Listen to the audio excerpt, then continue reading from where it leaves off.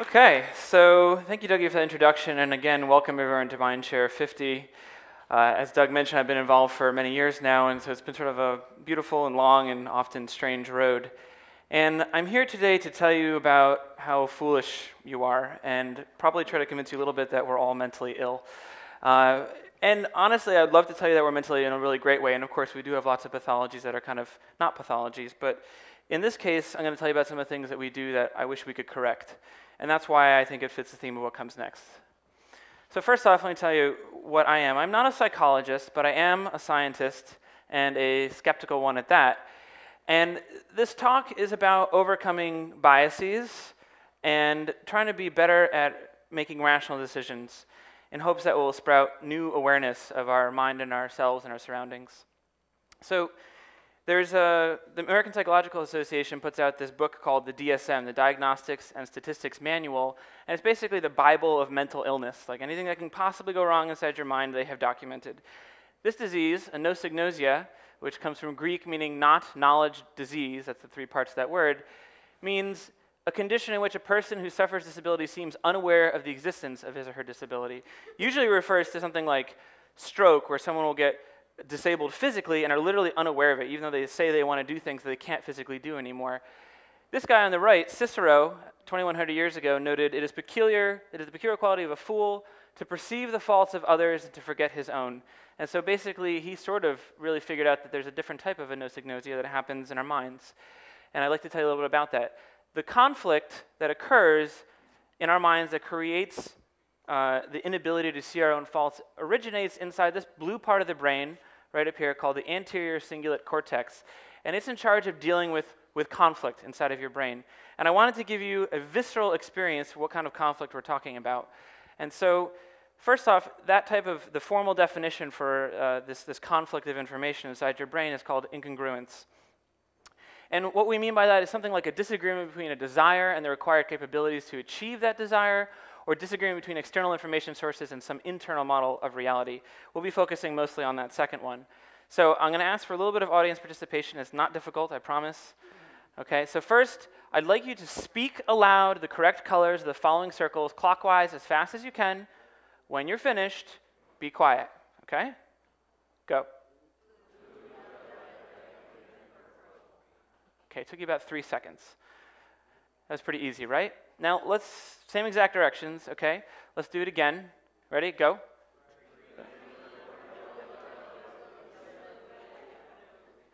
took you about six seconds. took about twice as long. So you probably felt this part of your brain that was like faltering at the idea of saying the right thing. Even though I gave you precisely the same instructions, I gave you precisely the same kind of data, but except I, I gave you a conflicting piece of information. The part of your brain that sorted out that, conf- that conflict was the anterior cingulate cortex. This test is called the Stroop test.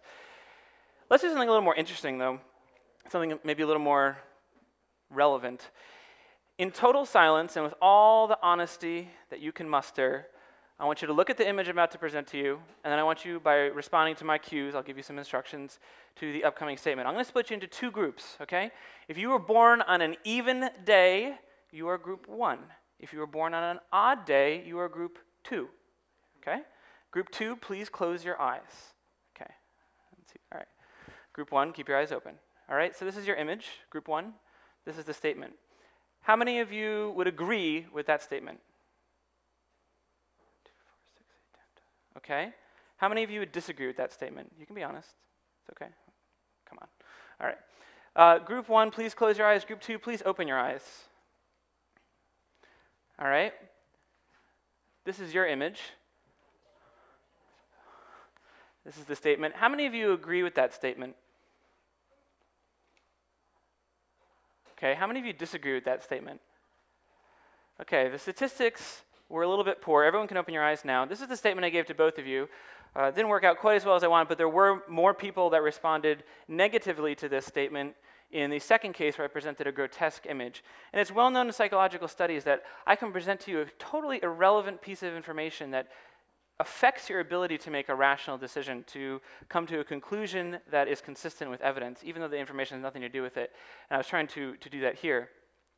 And the, the fact of the matter is that whether you thought something that was natural or was not natural, there are all these different cases where it doesn't matter what you think. There's actually a fact of it. And the, for instance, in the case of homosexuality, which is not the point of this talk, there are over 500 species where it's well documented. It's found in 1500. It's found on land, sea, and air. It's in mammals, birds, lizards, fish, and insects. It happens everywhere. I also want you to note that this lion is licking affectionately the other lion's eye. I think this. Um, I don't, I don't really understand this one, but I, I felt like it fit into that category. so, um, so the point is, is that you, not only can you be compromised, but there are times when they're just simple facts, and you may not agree with them, even though they're facts. And so, what's going on to some degree is that inside this thing inside your head, the brain, there's a lot of connections. It's called the diffusion, ten, diffusion tensor image, and this is not even remotely close to all of the connections, but it gives you an idea for how interconnected the brain is. So, when I trigger one part of your brain, for instance, the part associated with the emotion of disgust, it crosstalks with other parts of your brain that tend to compromise your ability to make rational decisions. Let me give you a very relevant example. This is Newt Gingrich. I'm not supporting Newt Gingrich, but what I want you to see here is first off, they use the word facts. They make a statement which has absolutely no facts in it. And they use words like sleaze, and they'll actually darken the pupils of the subject to try to get you to distrust them. They will feed you information in a way and try to make you feel some way subconsciously so that you end up getting this crosstalk that compromises your ability to make rational decisions. And with that, let's move on to kind of the two main parts of the talk logic and beliefs, and your self image. So, first off, the main question here is for me, and I hope for you as well, is why, in the face of overwhelming evidence, do people cling to incorrect beliefs? If you go back to that manual that I mentioned earlier, the Diagnostics and Statistics Manual, you look up delusion, it says a belief held with strong conviction despite superior evidence to the contrary. I hate to tell you, but I think that means that a large percentage of the US population is mentally ill, uh, in the sense that they're operating under delusional pretenses. And let me give you some examples. We just talked about the nature of homosexuality. Does did Iraq have weapons of mass destruction? After the Iraq Commission came out with its report saying that there was absolutely no evidence to suggest that Iraq had weapons of mass destruction, and after Bush himself corroborated that report, the number of people that believed that they had them went up. Men are better drivers than women, men are better than, with money than women. Both are untrue. Men are 77% more likely to die in a car accident than a woman, and they're uh, far worse at investing. Obama is a Muslim. This is my favorite one, maybe since the day he took office, the number of people that believe that he is a Muslim now is 63% higher, according to Pew Research, than it was when he first took office. There's no sound evidence the, to support the theory of evolution. I'm honestly not even going to honor that one with a response because the evidence is so overwhelming. The scientific consensus on global warming is poor. You hear that all the time repeated in the media, especially media of certain leaning. And the truth is that 97% of climatologists worldwide agree that global warming is happening and that it's caused by human uh, effects. And all of the major national academies of scientists worldwide also agree. So that's simply patently false. So, what is going on here? Well, part of what happens is that there's this visceral side of your brain, this emotional side that responds to cues more quickly than your rational side can respond. So, if you are presented with a piece of information that is incongruent with your beliefs, it triggers a similar part of your brain that's ready to like fight or flight response. It's a threatening piece of information. And so, here's the kind of uh, schematic of what's happening to people who are unable to incorporate this information and amend their, their internal mental structures. They're presented with information that's inconsistent with a belief. That immediately elicits a visceral and an emotional response that tends to mute the rational centers of the brain, after the fact, when the rational center kind of catches up a little bit, you have things like motivated reasoning, confirmation bias, which means you look for information that supports your side and, and don't look for information that does not support your side. You do things like source discrediting, where you try to, even though in a regular instance you would not discredit the source, if it disagrees with you, you try to say, oh, well, they're, I don't trust them, and you know, they're, who are they, and that kind of thing. And it, then you resolve, that, that process resolves this internal cognitive dissonance, meaning the disagreement between these streams of information. And that resolution feels good it's like a cookie. You know, it's like, ah, I, solved this problem, even though you didn't really solve the problem. But the point is, you, you got to that point where it felt that way. And that resolution reaffirms the erroneous belief. And so the result is that when, in studies they've shown this, when you present information to someone who does not want to be convinced, even if the information is crystal clear and true, they are more likely to believe the erroneous belief after you've presented the argument, which is sort of a depressing statement. And if you want to understand this a little bit differently, I tried to make kind of a pictorial representation. For someone who has a generally well constructed mental framework, if there's something in there that's illogical and doesn't fit properly, the prospect of removing it and putting in a new block that does is not particularly threatening. It just makes the whole structure a little bit better. For someone who's kind of disorganized, who doesn't have all their mental frameworks in order, who has maybe multiple pieces of illogical uh, thinking in their, in their mind, the prospect of removing a piece threatens the structural integrity of the whole. It's a far more threatening proposition for that person. And then just imagine what happens when you pile lots of people on top. You get groupthink and all sorts of peer support, and it becomes very difficult to convince people in groups. So I did want to arm you with a little bit of information on maybe how you could get around this sort of thing. So first off, it almost always needs to be done one-on-one. It is extremely difficult to convince people in groups because no matter what the group thinks, whether it's right or wrong, they will tend to support each other. If at all possible, point out what mutual goal you're trying to reach.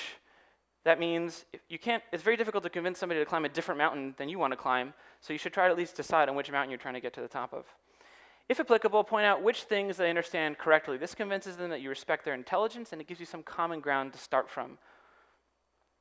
Strongly encourage people to check the source. And I say that because in this day and age, we live in the blogosphere. People take information, they rehash it, they rehash it again, they rehash it again. There's a game of telephone that goes on until finally you're not really sure what was actually said at the beginning. And then try your best at all points to not offend them, because if you do, you will elicit that emotional response and you've more or less sealed the deal that you're not going to be able to convince them of anything. So basically, it's like you're removing this Jenga piece from underneath the structure, trying to carefully put it a new piece in. It has to be delicately done. You have to build scaffolding, mental scaffolding, to keep the rest of their structure intact while you do this sort of little delicate operation. And I'll give you an example of, you know, you, you might think you're, oh, I'm really smart and I, I, don't fall subject to these sorts of things. Well, this is Richard Dawkins. Uh, I happen to agree with almost all of his viewpoints, but I think his methodology is flawed, and I'll tell you why. That evidence I just told you about the fact that when you present an argument to somebody, they tend not to believe it if you elicit an emotional response, but he does that all the time. And even though he knows that, so he's also subject to the fact that he can't follow through with a clearly logical framework. People who are a little bit better at it are people like Carl Sagan and Sam Harris, if you want to like understand uh, maybe how to better do this. And it turns out it's, it's beyond just balancing a right argument versus a wrong argument. It even comes down to simple numbers and probability within people's minds. For instance, if you ask people, you know, you say to people, I want to earn money, that's my, my goal. I'm going to take a risk and earn some cash. That's the, that's the definition of investing. And you say 50% of the time when I flip this coin, you know, it lands tails, you're going to lose $100. And 50% of the time when it gets heads, you're going to win $200. On average, every flip's going to earn you $50 the number of people that take this bet is extremely low. Yet people go to the casino and gamble against themselves and they know the probability works against them. So people are even irrational when it comes to very simple, provable things. And so to end this section, the key is if you are one of these people, if you have maybe, hopefully, in the last five minutes come to the conclusion, oh shit, I'm, I'm one of these people, uh, admit to your, yourself that your rational decisions can be subconsciously compromised. Be open to reasonable persuasions. Don't join a cult. Uh, embrace the notion that facts are impersonal. When someone's presenting you with an argument, they're not, hopefully, they're not trying to offend you, they're just trying to correct you, and that is not something that is necessarily an attack on you. And so, finally, I want to talk a little bit about self image, and it's, of course, related to this. So, it turns out that if you go around, you ask people to rate themselves with, within whatever group they find themselves, usually their peer group, they will tell you, oh, I have better than average memory. Most people will say that they went onto Facebook and they did social network analysis and they asked people, how, how popular do you think you are in your friend group? Most people said they were more popular than average. Driving skills 93% of American drivers say, I'm better than the average driver. Uh, relationship happiness, job and academic performance. At, at Stanford, 87% of Stanford MBAs say they're in the top 50% of their class when you ask them. And 70% of university professors say that they're in the top 50% with teaching ability. So people have this, this ability to convince themselves of things that are not true all over the place. We're going to talk about six and seven more in a second. And this is maybe my favorite one. If you go to any group of people and you ask them, and you even, let's say that you watch this talk, we can even do this later if you want, and I say, how susceptible do you think you are to bias? Do you think you're more or less susceptible than average? Most people will say they're less susceptible than average, which of course is itself a bias. So on the job, let's talk about this. Uh, people exhibit this illusory superiority, being better than they think they are all the time. So Daniel Kahneman is uh, the Nobel Prize winner in economics from two years ago, and he went to a firm many years ago, and he got trading information for 25 different traders over an eight-year period. And his presumption was, oh, if these people are skilled, if this job requires skill, then what you'd expect is that over time, you know, one person would have one level of performance, you know, maybe on average 4% income on his investments, one, people, one person had a little bit higher. If they had no skill, you'd expect it to be randomly correlated over time. That would indicate that they have no ability to actually make judgments that earn the money overall. And when he asked the people, Do you think your job requires skill? Every one of them responded, Yes. And you know what? All of the data showed there was no correlation. They basically were as good as rolling dice. As an example, here's an even better example because it has, has to do with something aesthetic. You're like, well, that's numbers. Like, I can, I can categorize money and I can think about it in a very quantitative way. Well, how about this? They took wine and they split people, uh, they, they asked people to be split into two groups. They had a low knowledge group, people who said, oh, I don't really know wine that well. And then they had a high knowledge group of people that said, oh, yeah, I know wine really well. And then they split them up and they, gave, they bought different kinds of wine, you know, high quality and low quality wine. And they randomized the order as they gave them each person. Said, could you please pick your favorite wine or the best wine? And presumably, if there was any skill in picking wine, then no matter what the order of the wine, you'd be able to pick it out. Now, when they gave it to the low knowledge group, people strongly tend to pick the first wine, regardless of what order it's presented in. So that right away tells you they, don't, they also don't really have the ability to tell, and it means that you're just likely to pick whatever one you're, you're first presented with. The interesting part is that for the high knowledge group, that effect got accentuated. They were more biased to pick just the first wine or the last wine. These effects are called primacy and recency. And so there, there they are saying, I know wine, but actually they were significantly more subject to the bias of positioning than the people who didn't know anything about wine. Okay, so presumably, when you do a job that, require, that is an important job that requires skill, hopefully your competence increases in commensuration with the skill required. Unfortunately, that seems not to be the case all the time. So, why are so many people incompetent in positions that require, and I'm supposed to say competence underneath there, uh, Ironically, it's not my fault. so, I mean, it's such a pandemic that there's both an English and an American version of the show called The Office, you know, putting this on display for everyone to see. And this, there's an effect called the Dunning-Kruger effect, and this is the last thing we're going to cover. So this is a histogram of intelligence, you know, in the, in the world population. So the mean intelligence is 100, and then smarter people to the right, and less intelligent people are to the left. And presumably, if you have a task that requires skill, you'd want people to be at above average intelligence to do that task, to be, you know, be president or whatever. Um, it turns out that when you, when you test above average intelligence people, like they will test at above average intelligence, there's an effect that takes place. They tend to underestimate their own intelligence and they tend to overestimate the intelligence of others. Okay? Now, for the less or below average intelligence people, it's not quite the same. They tend to overestimate their own intelligence, not super surprising. And the thing that happens in the other case is they are unable to judge the skill, competence, or intelligence of others. They're, there's just no correlation any longer. It's not like they underrate them, they just can't tell. So now imagine what this means. For any hierarchical organization, a government, a company, it means that you're basically, if I hire an intelligent person, they're likely to hire someone who's less intelligent than them, and the less intelligent person is likely to hire somebody at random, right? No, I'm, I'm dead serious. And so you've always wondered, what is wrong with hierarchical? Why, is it, why does this happen? Like, what is going on? And it's basically you're doing this sieving, right? You're doing a sieve of fools. You're taking smarter people and actually promoting, not promoting them into the higher ranks because, and it's, and it's not the fault of the less intelligent people, it's the fault of both groups of people. And so people have determined many times that the way to get around this is to flatten hierarchies, to make them shorter, and then you get less of this filtering effect. and so I just want to close by giving you some ideas on how maybe to get around this illusory superiority and the Dunning-Kruger effect. Um, first, define what you're optimizing so that you know if you're improving. You can't possibly get anywhere unless you know where you're headed. Employ quantitative metrics uh, whenever possible so that you can do some sort of unbiased evaluation. Your memory is completely subject to all of these biases, so you can't just remember it or be like, I think I was doing better some time ago, you know? Beg people for honest and impersonal feedback. And I say beg because, in general, after this talk, I might ask some of you how I did, and you, are liable just to be nice, even if you think it sucked. So take pride in the future improvement, not in your current state. And this goes back to that thing about visceral versus cognitive. If you take pride in your current state, you're going to be defensive when someone tries to give you information to improve it. But if you take pride in your future state, then you see that as an opportunity to be a better person in the future. So, with that, let me end by quoting Bertrand Russell the whole problem with the world is that fools and fanatics are always so certain of themselves, but wiser people so full of doubts. And so, with that, I hope you will uh, examine yourselves more closely, myself included. Thank you very much.